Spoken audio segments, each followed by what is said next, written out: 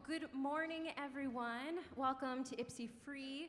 Uh, we are excited to be together. There's an amazing thing that happens when the people of God come together and celebrate Jesus. And so we're going to do that together today. We're going to stand, we're going to worship, we're going to hear amazing truths today. And we want our hearts to be ready. So, would you stand with us as we sing our first song?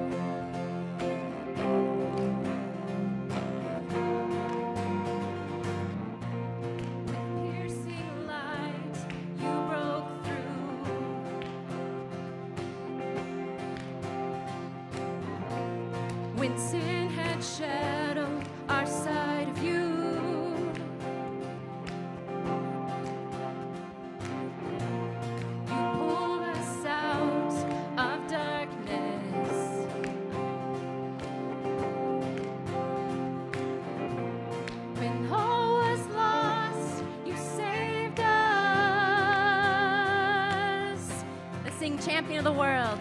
Champion.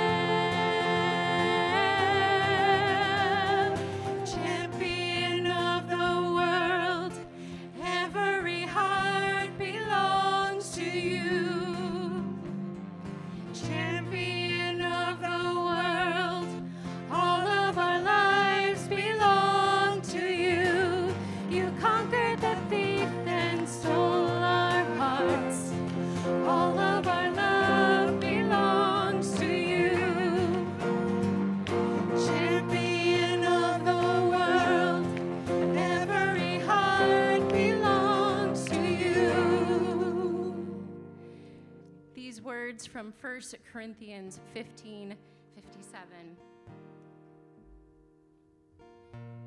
They're simple and profound, and I want to get them right, so that's why I'm reading them. It says, But thank God, He gives us victory over sin and death through our Lord Jesus Christ. I was meeting with a friend yesterday over coffee, and we gave hugs and said the how are you i'm fine how are you i'm fine and it turned into tim was like about ready to like send the police out looking for me because we talked until 6 p.m and it was family kids job um, dynamics that were complex and painful and hurtful and so when we come in this space we know that maybe some of us are on mountain highs and some of us are down in the valley today. And it's amazing that God has a victory for both, for everyone in the middle, and that He is here to help us face whatever, whatever Goliath is in front of us. And so today, whatever you are facing, be it big, be it small, be it a joy or a sorrow, just hand it over to God today and say, I want to see your victory in this situation. We're going to sing about that victory right now.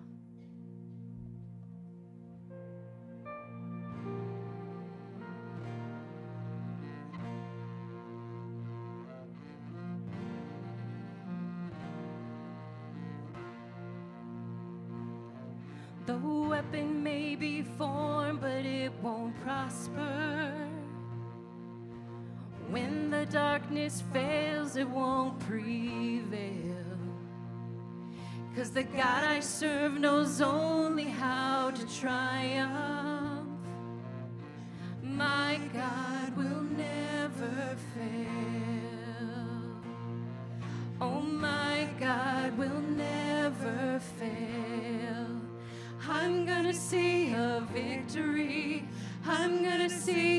Victory.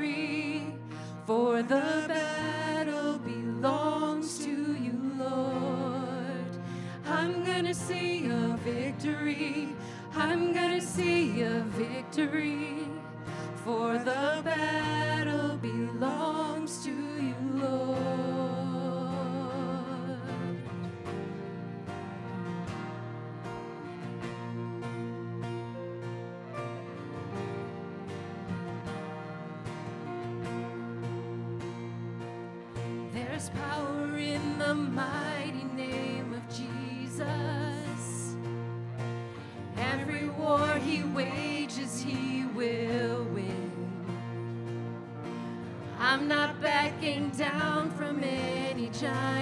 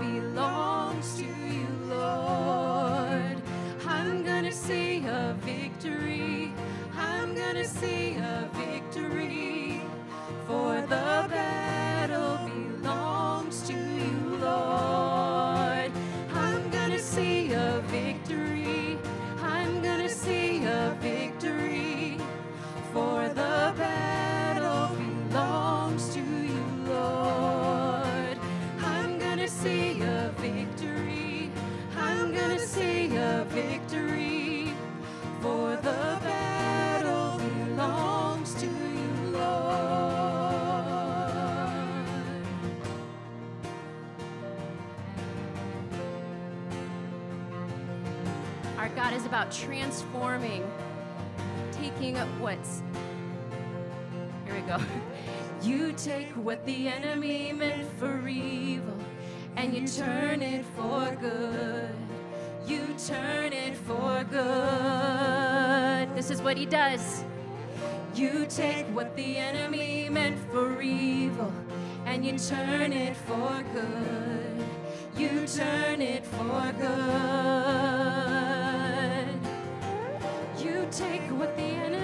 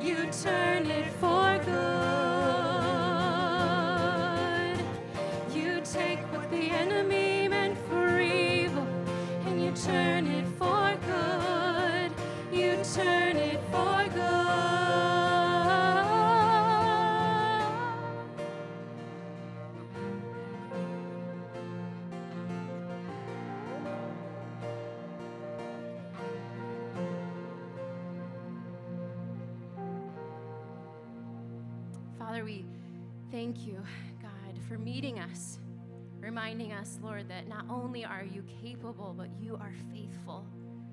You follow us you go before us, you are within us, God. Father, remind us that you are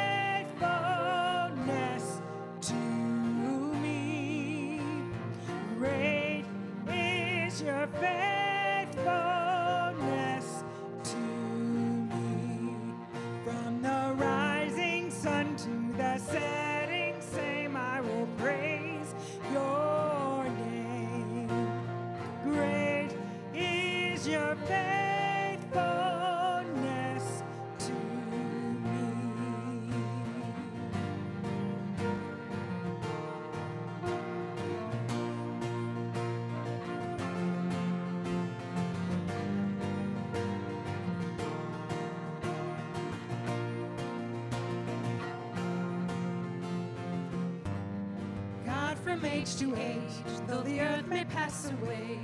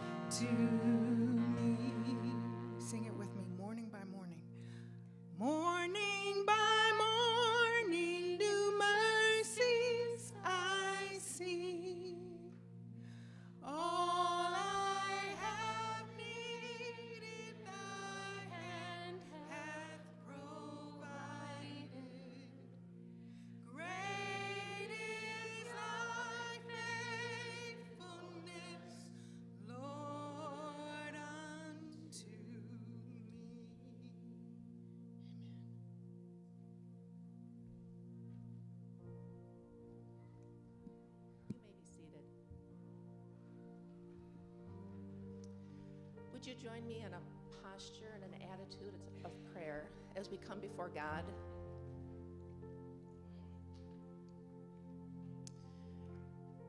Lord, your faithfulness is a wonderful reminder of your presence with us and the good that you have for us, Lord. And we so often need to be reminded of that because we are so forgetful, Lord. We're distracted.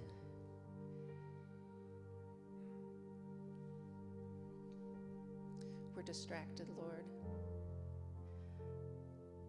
I pray that you would continue to work on our hearts and our minds, Lord, to be reminded of the many ways, Lord, that you have um, cared for us and provided for us, Lord.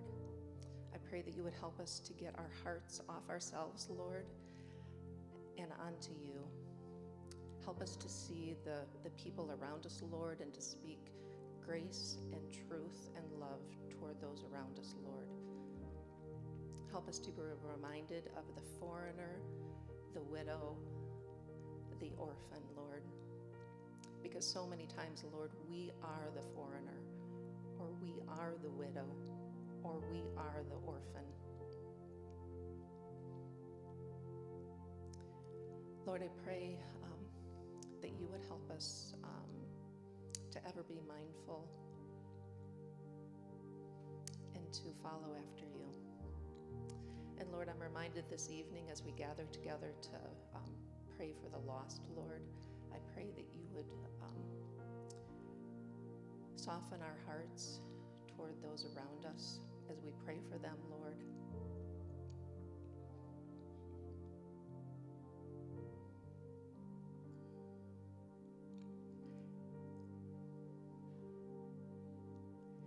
Thank you for your grace here with us now, Father. And um, as each one of us has come in here, Lord, I pray that you would open our ears and open our minds, Lord, to the word that you would have for us.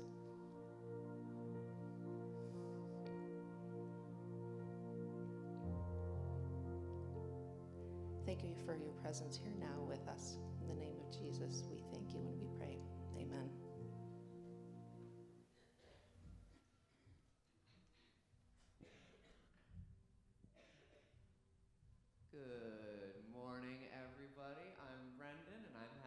Love God, love all people, and follow Jesus with all of you today. Uh, now is an excellent time to fill out your Connect cards, which you should have been given as you came in. If not, there should be some in the pews in front of you. It's just a great way to uh, let us get to know you, see what's going on. If you have anything, you know, that you want us to pray for, it's good to let us know down there. And uh, we are updating our directory. So if you want to go ahead and fill out that Connect card in full, um, or you can check our weekly email, and you can should be like a link in there you can follow to submit if you have any updates um, that you want the church directory to know about, or if you're new and you want to you know be added to the directory. You can go ahead and do that. Just make sure that you've submitted that by May 7th. And on May 13th, we have a Women's Appreciation Luncheon from 12 to 2:30 p.m. Uh, it's going to be at the farm at Trinity Health, and it's going to be a fantastic afternoon for our women. So, if you want to join that, there are postcards in the lobby with more information, and you can RSVP in the lobby or by emailing Mary Howard at mary.howard at scouting.org. And also on May 13th, we have a church work day from 8 a.m. to 12 p.m. It's going to be a lovely time of being able to get together and serve in fellowship as we take care of our church building and the grounds. Um, there will be coffee and donuts provided as well. So if you want to come serve, you know, join us for that.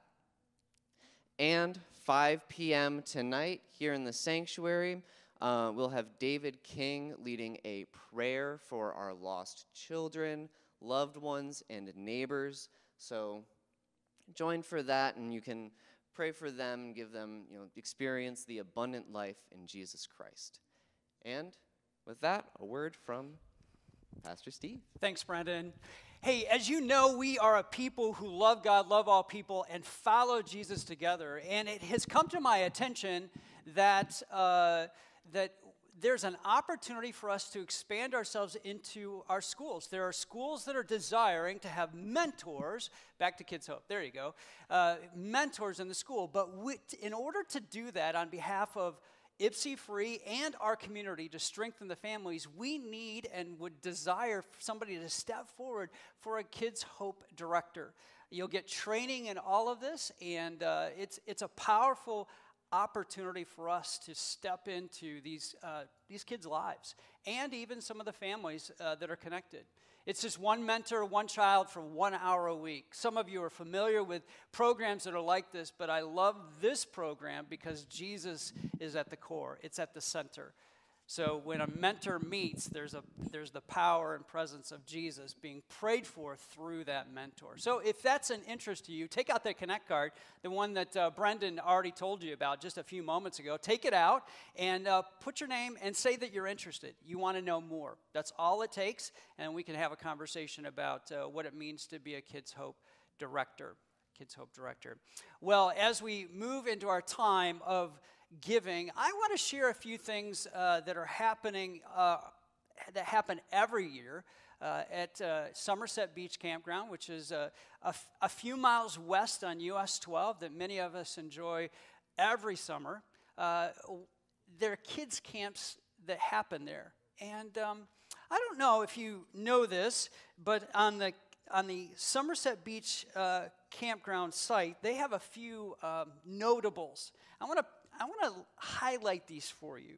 During an average week, a middle schooler watches 2,121 minutes of television, spends 623 minutes at a computer, and, but only 51 minutes outdoors. Some of us should be just aghast, right? Yeah. Well, we want to we want to be a part of the opportunity to help these students, whether they're in middle school or elementary school, to unplug. Uh, another note uh, nature. One study shows that 65% of parents, probably grandparents and others, are worried that their kids just do not spend enough time outdoors. It's just in front of a screen. Uh, Somerset Beach Campground offers this opportunity for our kids, your grandkids, to unplug. And so we want to encourage you not only to consider sending your kids uh, to camp or grandkids to camp, but also contributing to camp. So as we, we think about giving, let us not just think about giving only to the, the space that we are inhabiting and the ministries that are here, but also contributing so that our students can apply and get a scholarship to go to camp. Will you pray with me? Father, we're grateful. We're grateful for the good news that, that is that is expressed at Somerset Beach Campground. And Father, we want to join with those kids that are going. So, Lord, uh, lean into our hearts as we give today. Lord, as we give not only to the ministries of YpsiFree, but we also give in order for the ministry, the good news of the gospel that can be expressed in and through the kids at Somerset Beach Campground. Thank you. Thank you, Jesus, for giving us this opportunity. Amen. Remember, there are three ways you can give online, uh, giving boxes, or by mail. Thank you.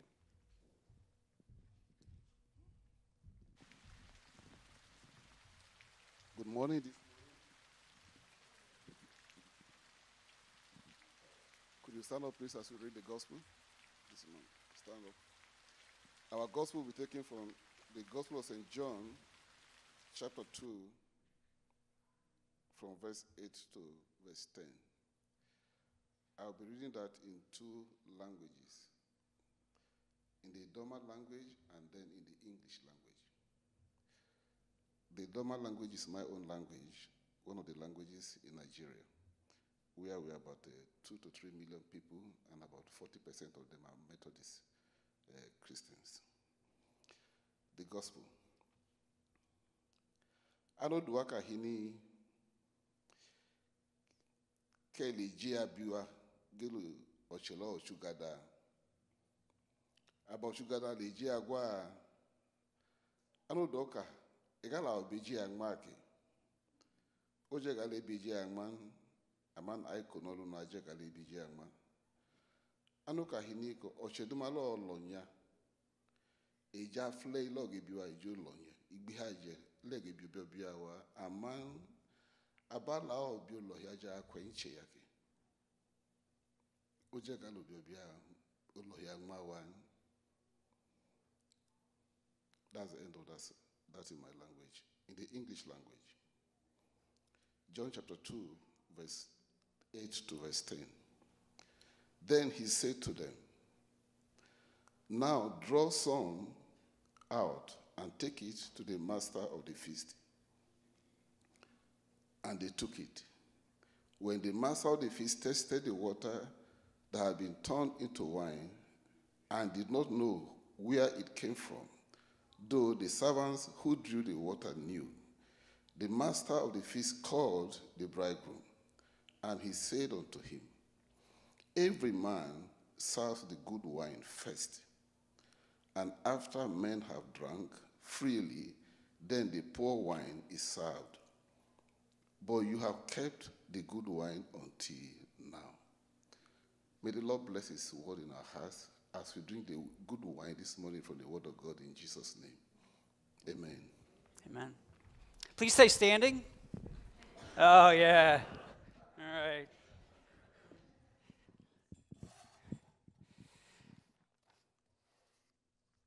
Well, I, I wanted to say I'm glad you're here. Whether you're online or you're in person, it is great to have you here. Just to take these moments to be together and acknowledge God and to thank Him for the freedom we have to worship Him, right? It's this wonderful thing to, to feast on his, the bread of life, the Word of God, and to stand in His presence with the same Spirit that raised Jesus from the dead, right? I just want to welcome you to this holy moment. I'm glad you're here. And the reason I say this is because unfortunately, some of you won't be here for long. Uh, some of you are, you'll still be here physically, but mentally and emotionally, you'll be somewhere else. Something will get your attention, something will move you from this time and place. Uh, some of you uh, will actually initiate a text message in the middle of my sermon. You will. Some of you will have to check your phone because you're waiting for a text message from somebody because you're concerned about where you're going to go after this. You're worried about what you're going to eat. You're going to be worried about where you're, if you're going to meet up with those persons. Some of you will be there, right? And, and as you're standing, I just, I just want to again reintroduce what was read to you by Mundi. Thank you, Mundi, for reading it in both languages. We do that here when we have the opportunity of somebody having a native tongue because the complexion of the kingdom of God is greater than our singular view.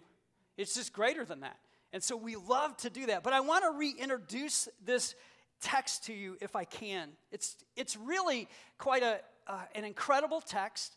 It's incredibly embarrassing to the host.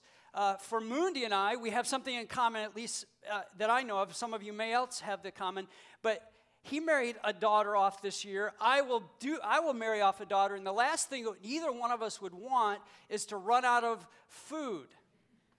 Uh, run out of well, I can't say that I'm going to have wine, but run out of wine, right? We just wouldn't want that to happen. But this is incredibly embarrassing, right? So what happens? Jesus tells his servants, Go and get the jars, these massive jars, and to fill them up. These jars were like 20 to 30 gallons of, of water. And he says, Then I want you to draw out the water from the, the jars and give it to the master of the banquet. They must have been just wildly freaked by this, right? I mean, we put water in, you want me to give it to the master of the ceremonies.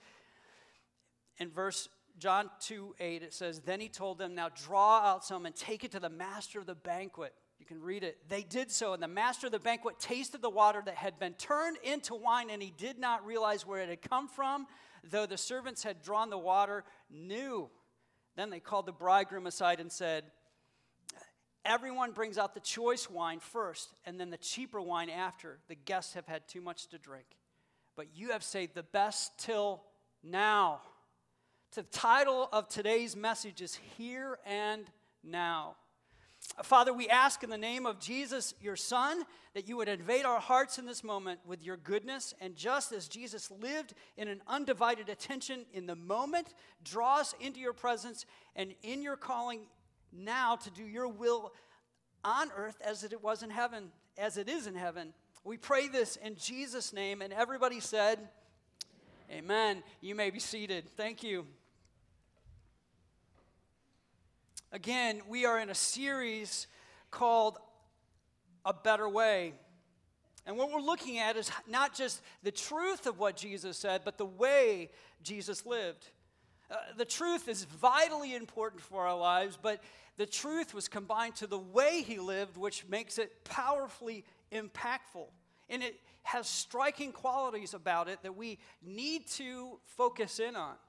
Today, we're going to focus in on specifically, and Kathy prayed into it, our distractions or the lack we need to have of them. Jesus himself was fully present. He lived what I called an undivided attention in the moment. He lived fully focused. There are two stories we're going to look at in Dr. Luke's gospel, and they are back to back. And it's places where Jesus gives his full attention to the moment he was in. The first one we find is find in Luke's gospel, as I said. Uh, Jesus was walking around in Jericho, and can you imagine? There were large crowds all around. There's a photo of Jericho that I want to show. I think, uh, yeah, this is this is Jericho. Uh, this is this is uh, the the, the place in which uh, Jesus is walking and walking around. It's this uh, magnificent walled city and the people have, in this picture that we're going to read, have gathered around him with crowds fighting, wanting, desiring, and hungering for his attention. And he's walking in, and this is what you find in this text from Luke 18. It's a blind beggar named Bartimaeus, and he cries out, Jesus, Son of God, have mercy on me. Those who led the way rebuked him and told him to be quiet, but he shouted all the more, Son of David, have mercy on me. Jesus stopped and ordered the man be brought to him. When he came near, Jesus asked him, What do you want me to do for you? Lord, I, I want to see. As we can tell, the, the, the disciples uh, were a little offended. Jesus doesn't have time for this guy, he's got business to take care of, going somewhere else. Jesus is vitally important to them and to some other things that were happening. He's just way too busy, like us, right? Maybe. Jesus isn't going to stop for some guy begging on the side of the road. And the disciples rebuked the blind beggar and told him to go away. But instead, Jesus isn't too busy. He's not too consumed. In fact, he gives this blind beggar his full focus. He says, What would you like me to do for you? What would you like me to do for you? Can you heal me? Can you give me my sight? So, miracle one is that Jesus restored this man's sight. But miracle two, if you will, is that he was fully engaged with blind Bartimaeus, who's no longer blind, by the way, fully engaged with him. He had time for this guy, even though his schedule was busy or full. The second story we're going to look at is, is the next story. It's, the con, it's right next to this one, consecutive in row. We see this in Luke 19 1.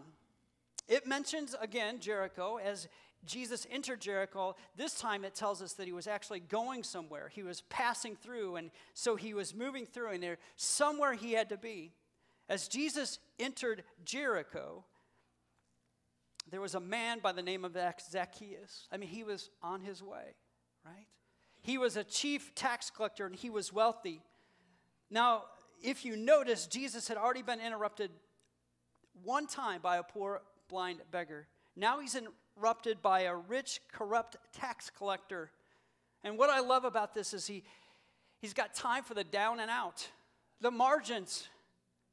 He's got time for anyone and a heart for everyone.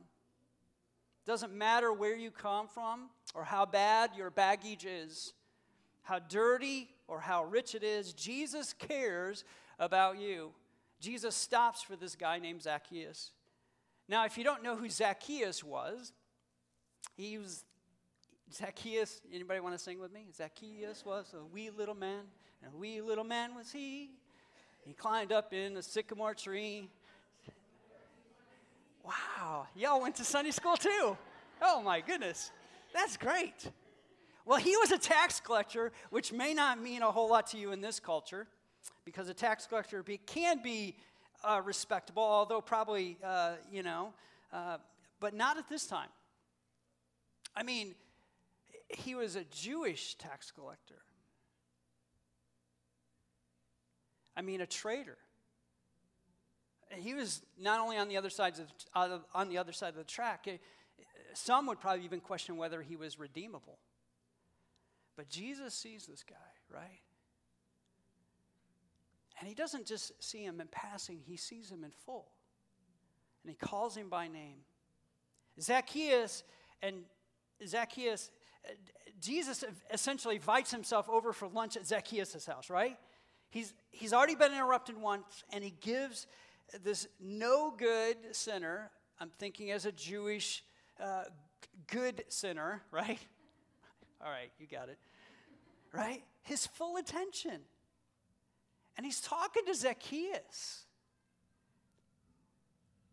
And he has this moment of interchange as they're eating supper where there's just this full display of repentance, contrition of heart for who he has become and what he has done. Says something like, I've sinned so many times, I've hurt so many people, and I'm so, so sorry. I'll do anything I can do to make it up. And he blurts out, uh, it seems as almost he blurts out anything. But he says, I'll pay back four times to anyone that I stole from. And Jesus looks at him and says, Salvation has come to this home. Salvation has come to this home. Jesus had an undivided attention in the moment, and he stops and gives people one of the greatest gifts he can give his attention and his love. Jesus was always fully, fully present in the moment. And as we have talked about, and I have even confessed that I'm not always there, but I want to be there, that I want to be able to be fully attentive like Jesus is in those moments when I am with people. But even out there in the hall, out in the lobby, I caught myself shaking my hand, shaking somebody's hand, and already kind of starting to move on. I want to have this gift that Jesus gives to people. I want to be where my feet are. I just want to I just want to live for the the happy moments and the up moments and the powerful moments and the outwardly meaningful moments. I just want to be able to be present. Maybe you do too, in the moment. Right? Even in the annoying moments. I don't know, maybe you weren't a parent like I was, but uh, or maybe still am. My kids would have to t- answer to that. But do you remember these moments when your kids were, uh, they, they were doing a painting project or they were doing something and all of a sudden paint went places it wasn't supposed to go? And instead of enjoying the moment that it may be on the walls or on the carpet or even on their body, and seeing you can catch the little bit of the smile there, right? I mean, looking up for approval instead of like, what a mess. I mean, those words may kind of like dribble out of your mouth, right? I, want to I want to be better than that. I, I mean, I, I, I used to kind of murmur more often than I should about the, the mess that was just laid, laid out in our home.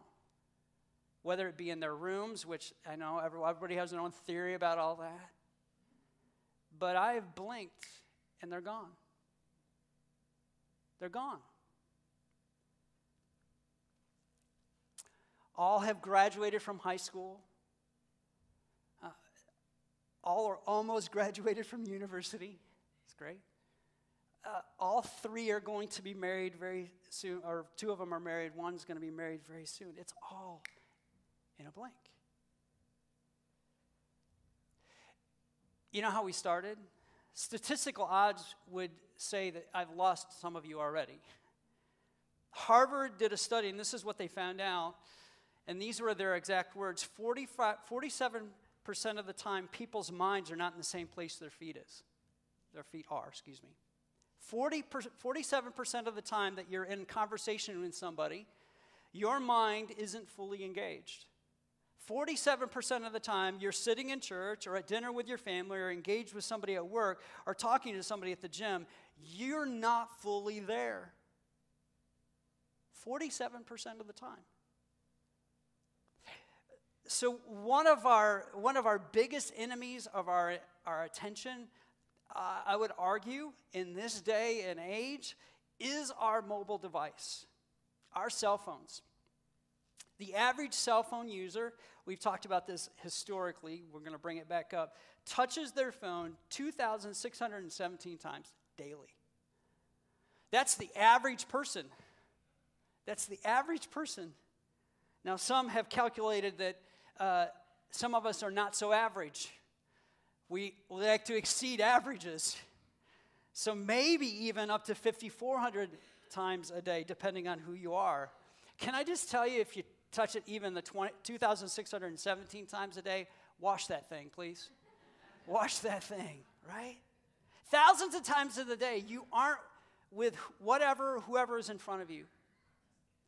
And your mind is somewhere else.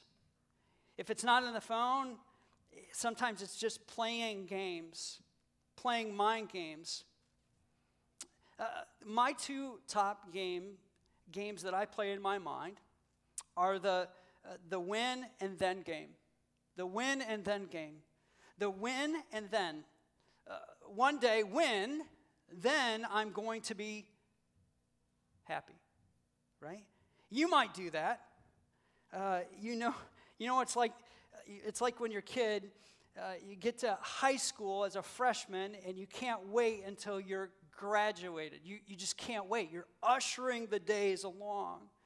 And then as we remind ourselves, we, for many of us, we then get into college and then we usher ourselves into wanting to be married or in another situation or another state, maybe, right? And we just keep moving ourselves along into this place where we've just wished our days away instead of living in the moment.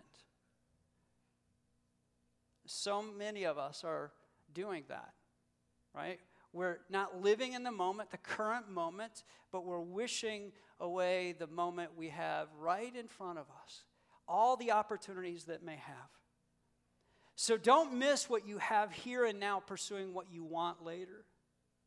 Don't miss what you have here and now, pursuing what you want later. Jesus was fully engaged in these moments that we looked at.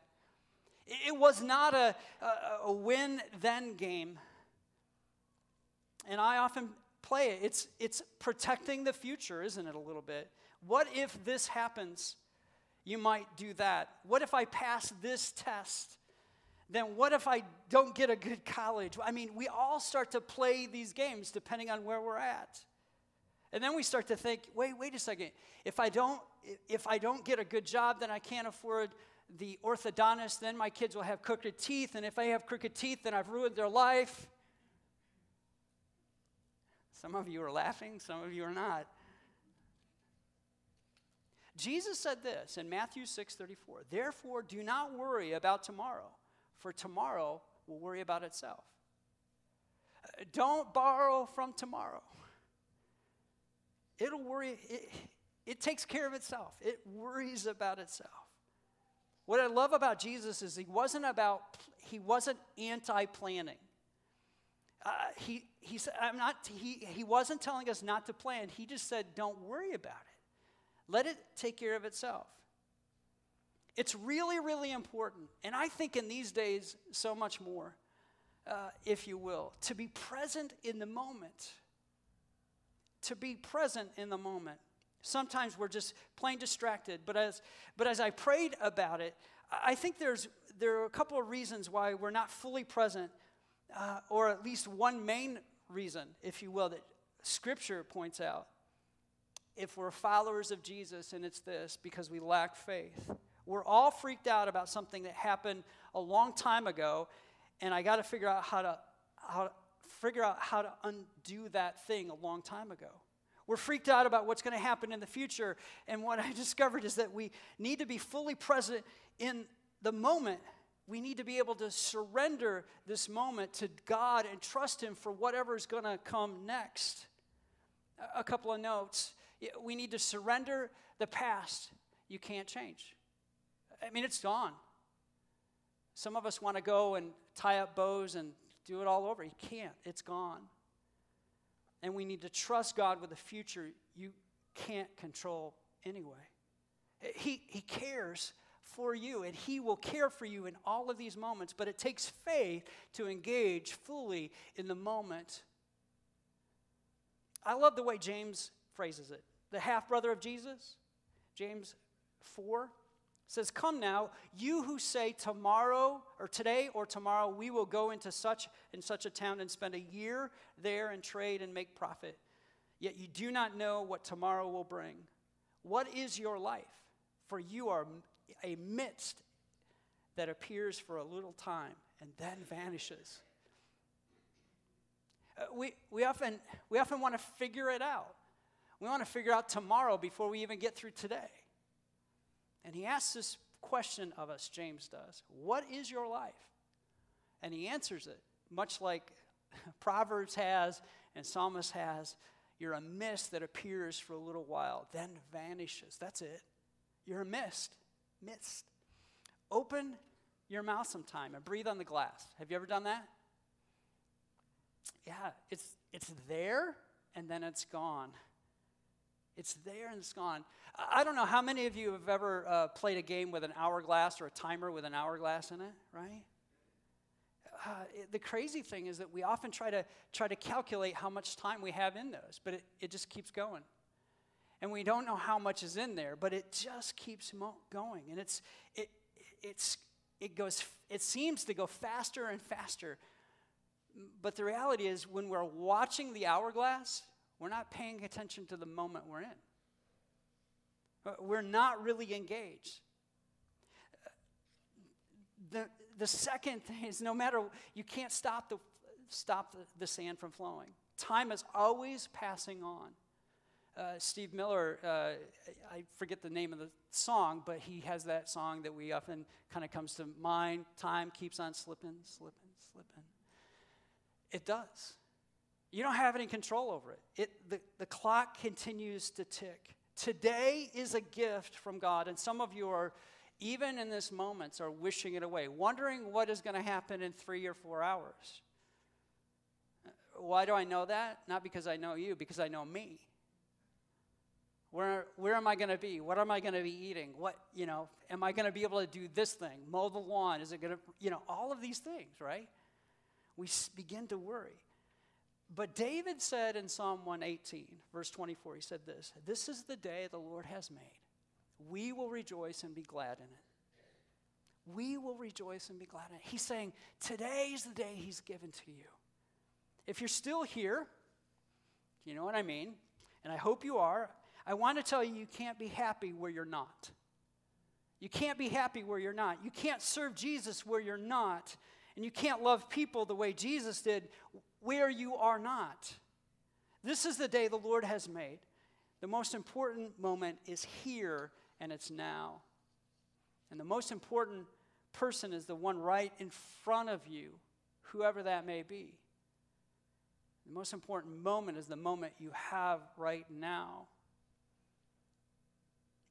Uh, I think all of us, myself included, live and kind of project for the big moments, the special moments, the powerful moments.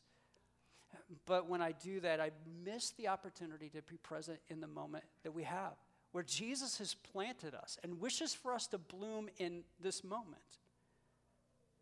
Uh, the most meaningful in and all of this idea of understanding the moments is oftentimes we plan for the big the big conversations, the mountaintop conversations, if you will. Yet I think, though, when we begin to realize what Jesus did and the way he walked and the way he talked and the way he ministered, we realize it's not the big moments that matter. It's actually the smaller ones that actually have, uh, that are, have greater crucial effect.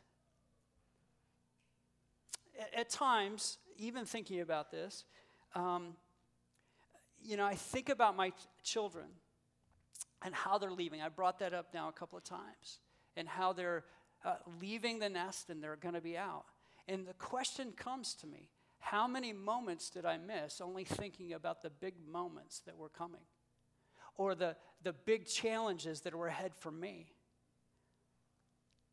I, I don't want you, I don't want us to miss what we have now to pursue what we think we want later this is the day the Lord has made. And it's an opportunity to live the way Jesus lived, uh, to live into his truth, but also to live the way he lived that gives us the fullness, the abundant life that we hunger for, we desire for. When you think about Jesus, if there was a time that he would have been distracted from any others, if there was any time that he would have been distracted from anybody else around him, it would have been his, his time on the cross. But many of you know what I'm talking about. When you think about it, he's, he's the sinless Son of God. P- people stripped him down naked, beat him, and he didn't even look human in those, time, in those moments. Whipped and flogged, and his back was left open and bleeding, and there he was on the cross. I'm trying to picture, I want you to picture the idea of the pain that he was going through, but he never lost who he was or in the moment.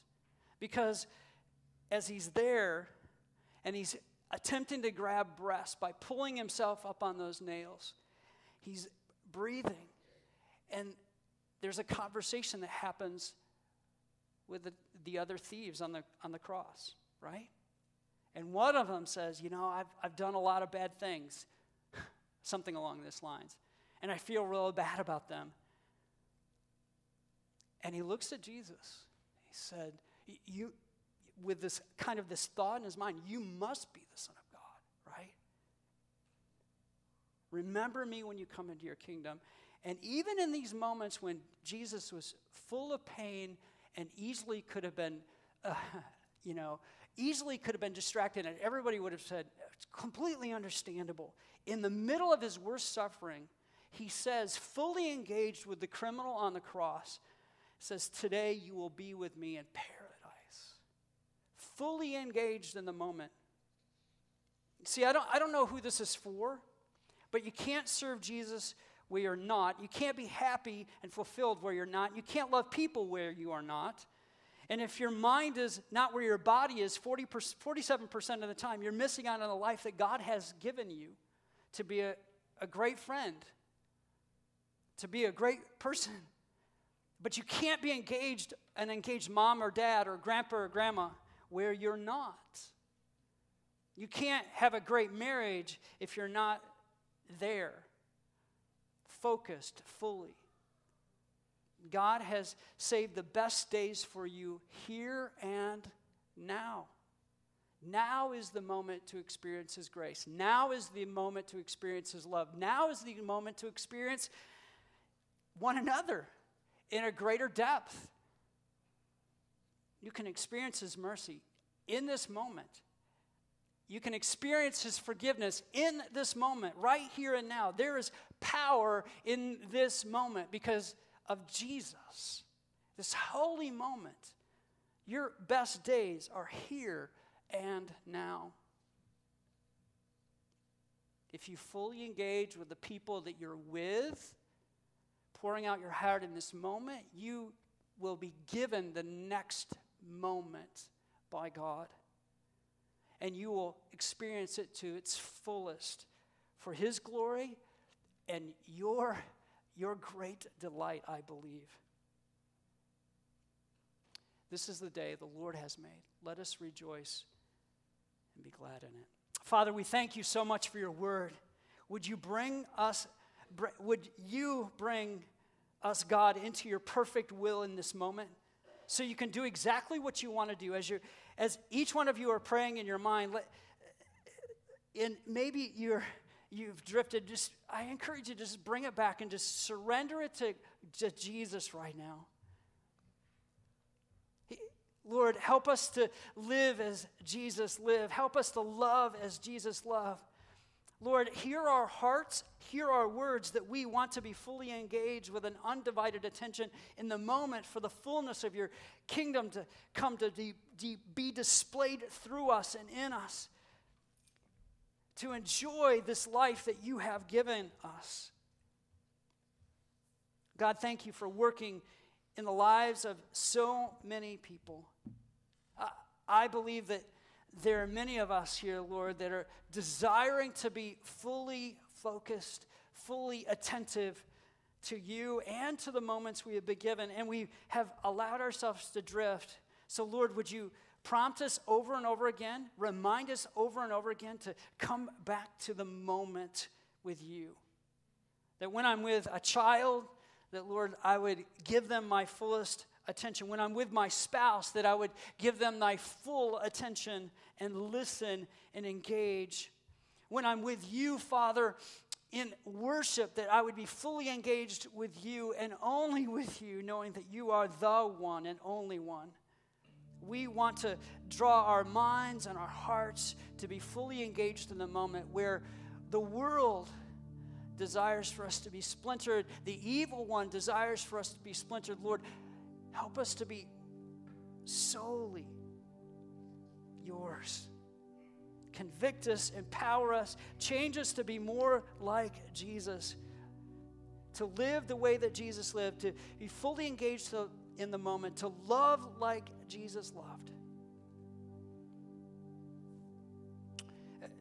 If that's you this morning and you, find yourself divided often, just continue to pray, inviting the Holy Spirit to draw your mind and your heart not only into this moment, but into every moment. But can I, can I just grab the attention of a few that may be in here this morning? This may be one of the most important moments of your life.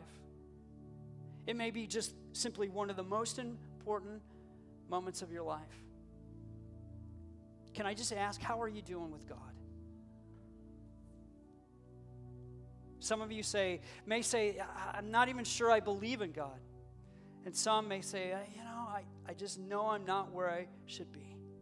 That I need to renew my relationship with the one who loves me with his life. I just want to encourage you to do that today. This is your holy moment. He's a good God who gave his great and holy Son so that we could have a relationship with him.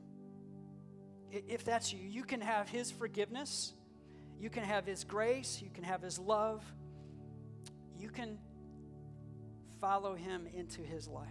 if that's for you, I want you to pray this prayer this morning.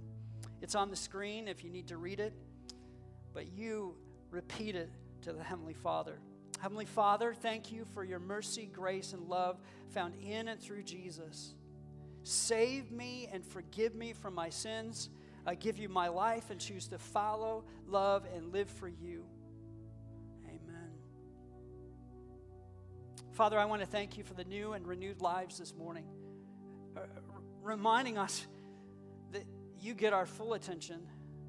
And when we give you our full attention, Lord, we live lives that are full and abundant, overflowing with your goodness and holiness. We thank you. We thank you for the new life today. Amen. Again, these Connect cards become uh, just a wonderful opportunity for you to communicate your decision this morning. If you have made a decision to follow Jesus or you have renewed your relationship with Jesus, please mark that in your Connect card, whether online or in person, so that we can follow up with you, pray with you, and encourage you in your walk with Jesus.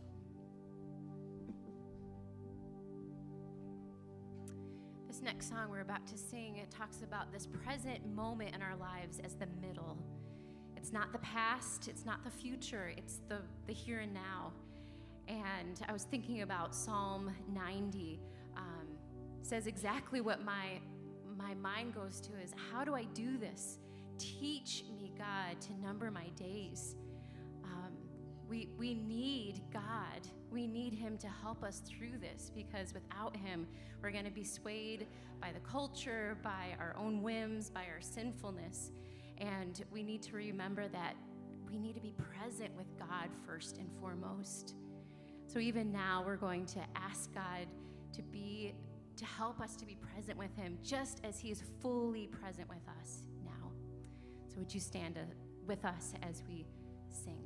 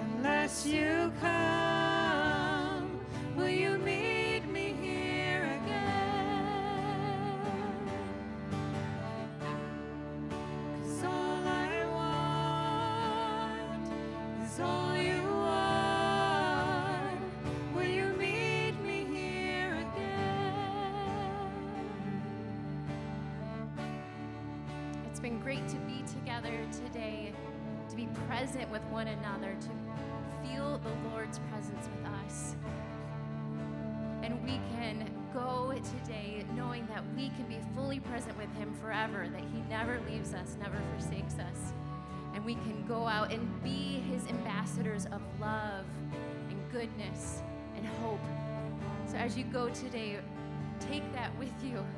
Don't let your feet and your mind be separated. And when you have that moment, ask the Lord, please make me present. And He will help us through the dividedness that comes. Have a great week. We hope to see you here tonight to pray for the lost.